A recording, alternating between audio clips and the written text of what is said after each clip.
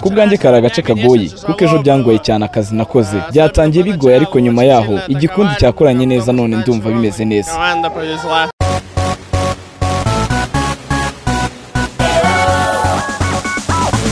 Hambere aha hirya ngo umuntu yajyanye n'indogobe kugura umunyu hanyuma agarutse awuhekesha iyo ndogobe. Iyi yaje kumva umutwaro urayishengura ndetse igiye kwambuka umugezi igwamo umunyu wikubise mu mazi urashonga maze noneho umutwaro worohera indogobe. Iyi. Ngo yaje kwishima rwose. Ikomeza kugenda.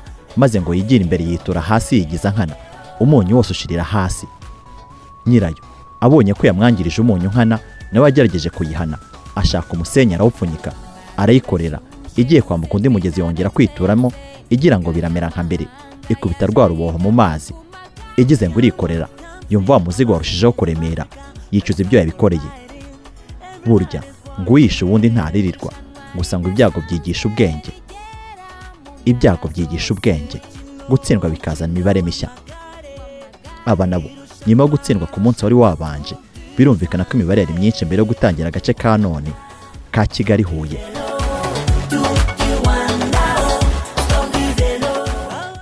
Euh. Euh,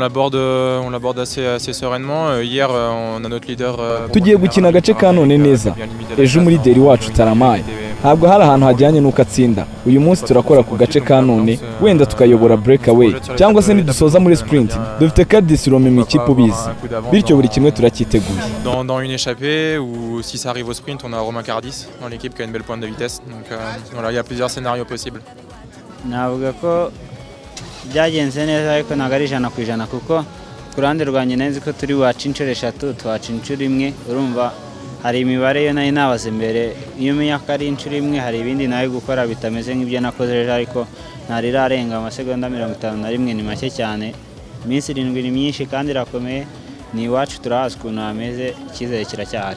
Bah, l'an dernier, euh, l'an dernier, comment euh, ça s'est. umwaka ushize kudusi yari yacitse abantu mu gice cya nyuma.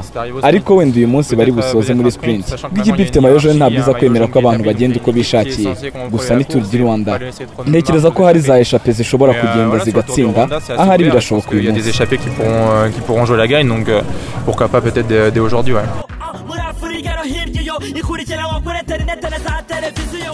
Byari ibyifuzo nyine mbere. Gusa hirya yabo hari umusore wo muri cya gihugu cy'abantu b'amasura ashiririye nk'uko abagereki babitaga des hommes visage brille cyangwa se etiyopiya bazwiho ubutwari kuva hambere. Dore ko ari bo bashoboye kwivuna abakoloni bonyine muri afurika bakabirukana mu gihugu cyabo kugeza bibabaje umunyagitugu musolini nawe agakomaho maze bikanga agataha yimyiza imoso nka cya kiyoni nyuma yo kubura umuntu w'upfa w'umutari. Ni umusore w'amagara make. Ngo wikundire u rwanda. Cya gihugu cy'imisozi igihumbi yahogoje benshi. Ahari urutare rwanda abaho isoko nyarwanda itemba cyangwa se wenda ibere rya bigogo benshi barata. Aha kandi ni ho ushobora kuruhukira ku mucanga wa tamutamu aho ngo bituma ubwonko bukora neza wakongera kwirebera ingagi mu birunga ibyishimo bikakurenga cyane kuba wamenye ko wageze mu rwagasabo koko.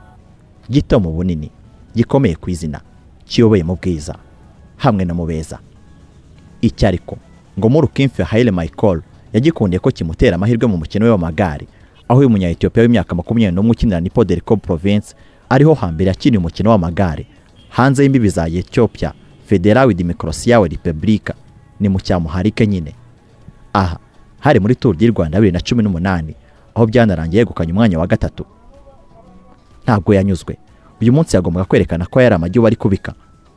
Imbere y'ibihanganye biturutse ku isi yose ntabwo yatinye.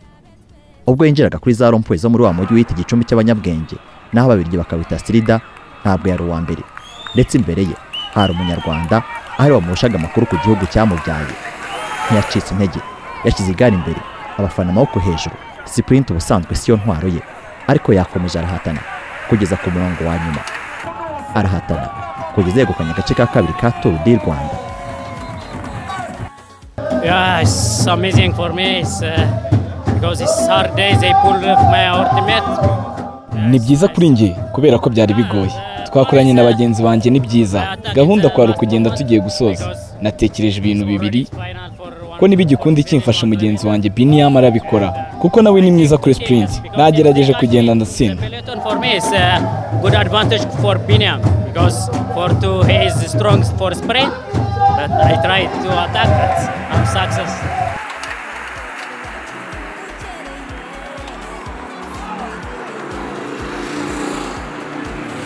yari inzira y'ibirometero ijana na makumyabiri na metero magana atandatu yaheraga i kigali.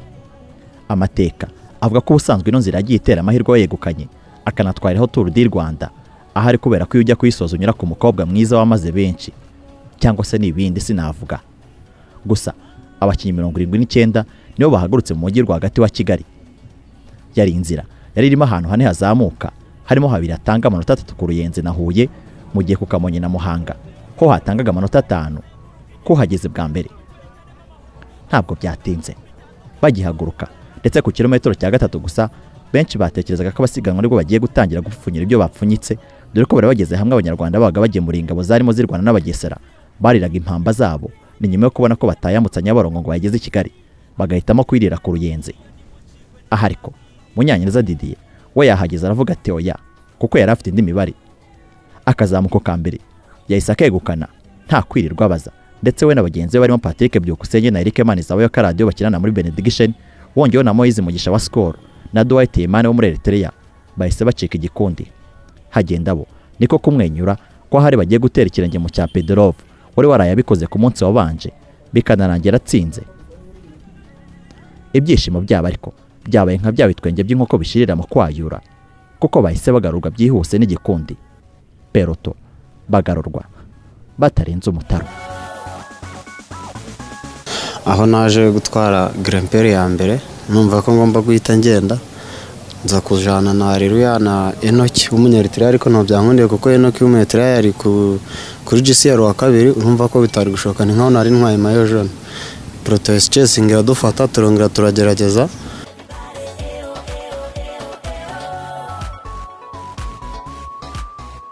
Inzira ariko yakomeje.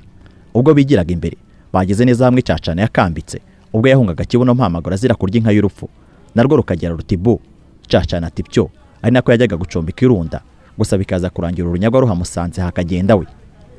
Aha abandi bakinnyi batanu bahageze bahise bacomoka.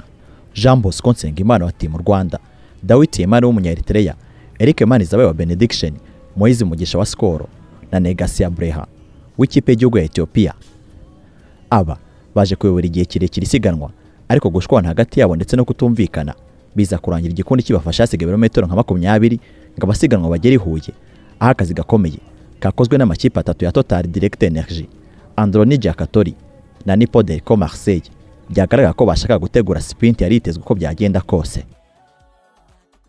Eh, stage ya kabiri twayitangiye twataka kugira ngo turebe ko twakora eshape mu by'ukuri byadukundiye kuko twashyize karadiyo muri eshape ajyana n'abakinnyi bakomeye harimo Nsengimana Jean Bosco equipe nationale ndetse na na Moise wa Ascol eh, n'abakinnyi babiri b'abanyamahanga harimo umunya Eritrea ndetse n'umunya Ethiopia.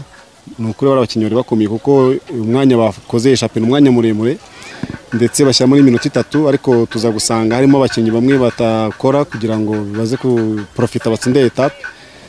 Ah, dufata icyemezo cyo kugabanya umuvuduko muri eshape Eh, tugize ibyago n'ubundi babafata. Bamwe bananiwe harimo wa ekipe nationale wari wananiwe ariko karadi Eric Manizabayo we yari akimeze neza.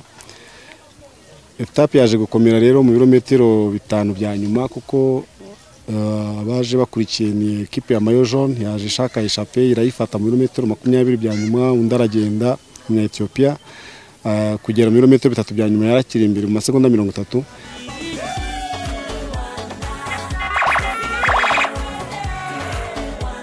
Ikipe ya kane ariko benediction ignite ikina tour du rwanda ya kabiri. Niyo nyamara yaje kuvamo umukinnyi waje gutangiza sprint habura kilometero imwe ngo isiganwa risozwe. Umusore nawe ukiri muto wegukanye tour du senegal akanatwara uduce dutandukanye twa rwanda cycling cup. Benshi bamubonamo icyizere cy'ejo hazaza. Ndetse banamwitiriye wa mukinnyi kabuhariwe w'umufaransa Kylian Mbappe ariko amazina ye ni Munyaneza Didier. Uyu yaje kunyukira igare yizera intsinzi ariko imbaraga z'umubiri birangira zanze. Ah, ibintu naje gukora ni byo kandi nako byagombaga kumera kuko biriya bintu niyo tactique y'abantu bose bakunze gukoresha. Ndabyibuka kuri Tour du Rwanda ya umunya South Africa Kentman yarabikoze biramuhira ndabyibuka. Nanjye kuri Tour du Rwanda ya Mugisha Mbo wa kane nabwo narabikoze birampira. Maharawi Kudus yambara mayo jaune yarabikoze biramuhira. Ni ukuvuga ngo ni ibintu bikunze kubaho ni ibintu nari nateguye nari nazi na mbere yo guhaguruka nari nabibwiye koci ko ndibikore na ekipe yanjye byabaye babizi kumfata rero ni ukuvuga ngo ikosa ryabashije kubamo ni uko uriya munyetiyopiya muru nawe yabimenye kuko yari abimenyereye agahita yataka. Kuko buryo iyo hatagiza iyo ataza kwataka iporoto ntoya yari gucesinga cyane. Iporoto ya cesinze ikurikiye muri kuko aturuka mu kipe ikomeye dore ko marise ihanganye na baraporo ni ukuvuga ngo ni ho poroto yongereye umuvuduko kandi nawe ni umukinnyi ukomeye ubwo yaje kumfata yamfashe ndimo kwambuka rive. Urumva ko ibintu nari nabaze byari byo iyo baza kwibeshaho gato bagasigana nk'uko bari babitangiye bari gusanga